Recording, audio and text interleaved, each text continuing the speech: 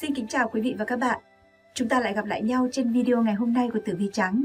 Chúc các bạn luôn luôn vui vẻ, hạnh phúc.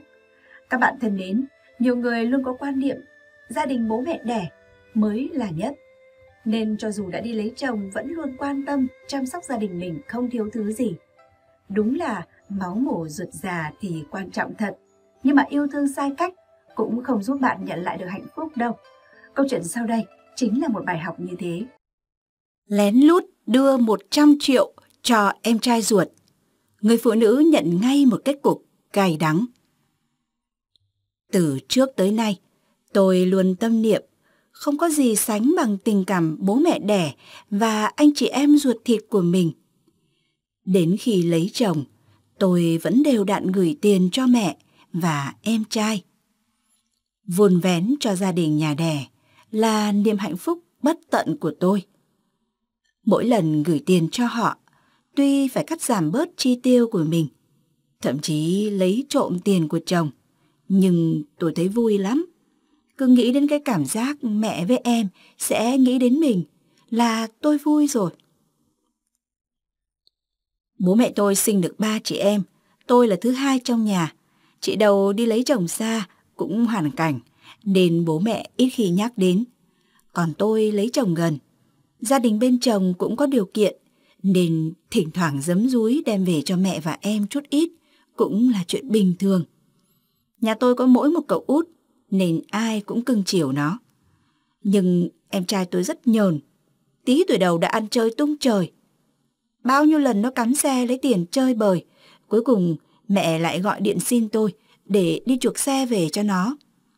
Nhiều lúc thấy phiền lắm, nhưng tôi có nhắc thì bà bảo, nó là con trai, ham vui mải chơi tí có sao. Đến lúc lớn khắc tự biết mà ngoan trở lại. Tôi cũng thật sự ngán ngẩm, nhưng không biết bao giờ em nó mới ngoan lại cho tôi với mẹ được nhờ. Đợt trước, tự nhiên mẹ gọi điện giọng buồn lắm. thẳng Quang nó muốn mở cửa hàng cắt tóc, mà không có vốn. Mày xem, có không, giúp em một ít. Tôi hỏi cần bao nhiêu, thì mẹ bảo khoảng 200 triệu. Tôi nghĩ nát óc vài đêm. Chồng đợt này làm ăn được, mới đưa 200 triệu để tôi giữ. Để khi nào đi đào số tiết kiệm thì gửi thêm vào.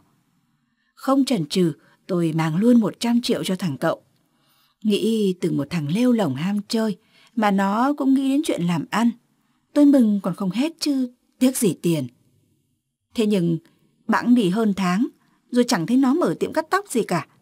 Tôi về bên đó hỏi, mẹ ấp úng mãi, rồi cũng bảo, thằng em xin tiền đó để đi trả nợ, chứ không phải mở cửa hàng cửa hiệu gì. Nó vẫn nợ bọn kia một trăm nữa, mày có thì cho em nó trả nốt, không có khi chết mất xác. Tôi nghe mẹ nói mà, choáng váng. Hóa ra, mẹ nói dối để moi của tôi 100 triệu cho nó trả nợ, chứ không phải đầu tư làm ăn gì hết. Vậy là tiền của tôi lén lút giấu chồng mang đi cho em, trở thành công cốc. Đã vậy, mẹ lại còn voi vĩnh thêm nữa. Cứ làm như tôi là thẻ ATM của hai người. Tức quá, tôi mới bảo. Từ giờ mẹ với nó đừng hòng moi của con được đồng nào nữa. Mẹ ném ca cái rẻ rửa bát vào mặt tôi. Mày đúng là đồ bất hiếu, thấy em sắp chết mà còn không giúp. Từ giờ đừng bước chân về đây nữa, trướng mắt tao. Tôi khóc như mưa từ nhà mẹ đẻ ra mọi người ạ. Thật sự hoang mang. Về nhà thì sợ chồng biết chuyện mất tiền, anh lại mắng cho. Cả tuổi thanh xuân của tôi dành để kiếm tiền cho mẹ đẻ với em trai tiêu. Vậy mà, đến phút cuối lại bị coi là bất hiếu. Tôi quá thất vọng về mẹ mình. Chưa bao giờ bà biết đến công sức của đứa con gái này. Giờ tôi mới nhận ra bài học quá cay đắng. Sai lầm khi hết lòng vun vén cho nhà đẻ. Để giờ đường về đâu cũng mù mịt cả. Sinh con một bề vốn là đề tài không mới trong xã hội ngày nay. Cho dù cuộc sống của chúng ta đã hiện đại hơn rất nhiều, thế nhưng mà vẫn nhiều người nặng nề với quan điểm là phải có con trai. Điều này vô tình gây áp lực lên các cặp vợ chồng và tội nghiệp cho những bé gái, dù bé vô tội và cơ hội cho cả hai giới trong xã hội ngày nay là như nhau. Câu chuyện của một cặp vợ chồng sinh con một bề dưới áp lực của xã hội thì như thế nào? Hãy cùng lắng nghe ý kiến từ những người trong cuộc trong bài viết sau đây. Đẻ toàn con gái, bị người ngoài suốt ngày nói đều. Sinh hai con gái. Mọi người bảo tôi, nhà cao cửa rộng cho rể ở, tiền gửi ngân hàng, cháu ngoại tiêu. Tôi và vợ đang làm ở những công ty tư nhân nước ngoài. Công việc rất nhiều áp lực. Thế nhưng bù lại, đồng lương cao và chế độ đãi ngộ tốt. Ngoài đi làm ngoài, vợ chồng tôi cũng mua thêm bảo hiểm nhân thọ cho hai vợ chồng và hai con. 33 tuổi, vợ chồng tôi đã có nhà, có xe, có cuộc sống ổn định với hai cô con gái xinh đẹp và ngoan ngoãn. Hai con gái tôi, đứa được 8 tuổi, đứa được 5 tuổi. Nhìn thấy các con khôn lớn từng ngày, vợ chồng tôi vui lắm. Trong khi vợ chồng tôi thì rất vui vẻ, chẳng phân biệt trai gái. Thậm chí gia đình hai bên cũng vậy, không ai có ý kiến hay rèm pha gì. Họ còn bảo, nhà tôi đúng là dép một đôi ấy. Vậy mà, mỗi khi đi ra ngoài, tôi và vợ nhận được nhiều câu hỏi tò mò đến vô duyên. Nào thì họ hỏi, nhà tôi có mấy con, con trai hay con gái? Khi nghe tôi nói có hai con gái, thì họ lại phán một câu xanh dờn là Con gái chán nhỉ, thôi cố đứa sau. Đứa sau phải tính toán làm sao cho ra thằng cu. Nhiều người thì động viên phải cố đẻ một cậu con trai, đến khi nào được mới thôi. Tôi nghe mà ngao ngán, kinh khủng. Tôi chẳng hiểu sao nhiều người lại nghĩ như vậy nhỉ. Vợ chồng tôi đều nghĩ rằng con nào cũng là con hết.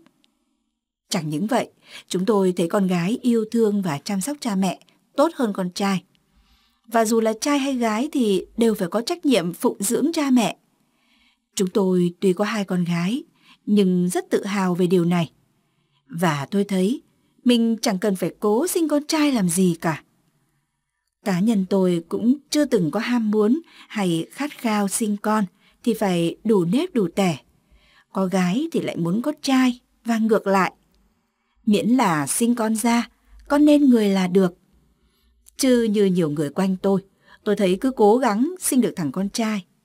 Nhưng sau đó lại chiều chuộng quá thành ra sau này con hư hỏng. Như vậy người con trai đó chỉ làm khổ cha mẹ, chứ làm sao mà nối dõi tông đường. Hơn nữa, ngoài kia có biết bao người đang đau khổ, tốn hao biết bao tâm lực, tiền của, chỉ mong có một đứa con, mà mãi vẫn gian nan không được. Do đó, có con đã là một diễm phúc, một may mắn lớn nhất mà một người có được. Và dù là con gái, con trai, thì con nào chẳng là con mình. Quan trọng là con nuôi dạy được chúng nên người không mà thôi. Ngoài ra, thực tế chứng minh rằng chẳng có cơ sở nào chứng minh con trai phụng dưỡng cha mẹ tốt hơn con gái.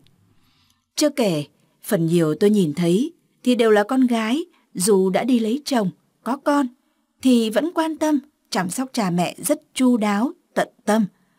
Còn trai thường chỉ làm tốt phần hỗ trợ tài chính mà thôi.